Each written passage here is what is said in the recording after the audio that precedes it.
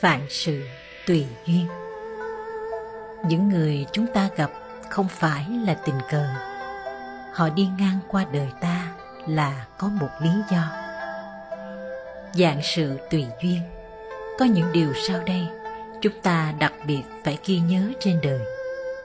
Một, giữa người với người, có thể gần cũng có thể xa. Giữa việc với việc, có thể phức tạp cũng có thể giản đơn. Giữa tình cảm với nhau, có thể sâu cũng có thể cạn. Hai, đừng mong cầu mọi người đối xử với mình đặc biệt, cũng chẳng nên hy vọng họ sẽ bớt đi những toan tính. Ba, cuộc sống có người nói ít làm nhiều, cũng sẽ có kẻ chỉ biết hoa chân múa tay. Bạn không nên quá bận lòng chỉ cần quản tốt việc của bản thân, còn lại mọi việc hãy thuận theo nhân duyên 4. Đức Phật từng nói, Với người không có duyên, Dù bạn nói bao nhiêu lời cũng là thừa Còn như đã hữu duyên, Thì chỉ cần xuất hiện, Bạn cũng có thể đánh thức mọi giác quan của họ 5. Có một số việc Vừa phân trần trắng đen, Đã trở thành quá khứ.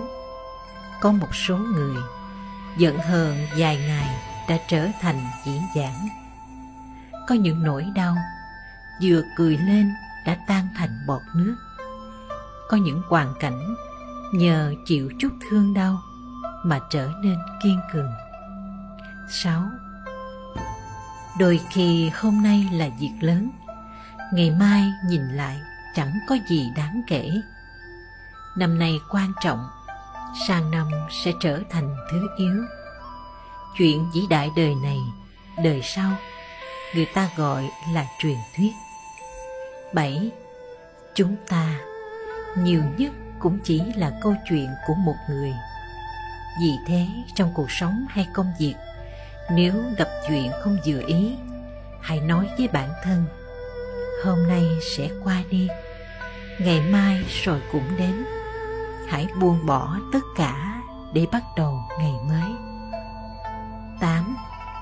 Trên đời có một số việc không phải không để tâm mà để tâm cũng không làm được gì hơn 9. Cuộc sống không có nếu như Chỉ có hậu quả và kết quả 10. Đón nhận đời mình như thế nào là do bản thân lựa chọn. Người khác không thể quyết định thay. 11. Trưởng thành rồi, bạn sẽ biết cách lấy nụ cười đối diện với tất cả. Bởi thế, một, trước nhất, cần quản tốt những việc của bản thân. Hai, sau tới, làm những việc cần làm. Ba và đi con đường nên đi 4. luôn giữ gìn sự lương thiện 5. gắn nuôi dưỡng lòng chân thành. 6. Nên khoan dung với mọi người. 7. Hãy nghiêm khắc với bản thân. 8. Mọi việc còn lại thuận theo nhân duyên. Nam mô Bổn sư Thích Ca Mâu Ni Phật. Nam mô A Di Đà Phật. Xin hồi hướng công đức này cho tất cả chúng sinh đời này và mãi mãi đời sau được theo chánh pháp nhiệm màu, được lan tỏa chánh pháp muôn nơi, tinh tấn tu tập, đạt giác ngộ, giải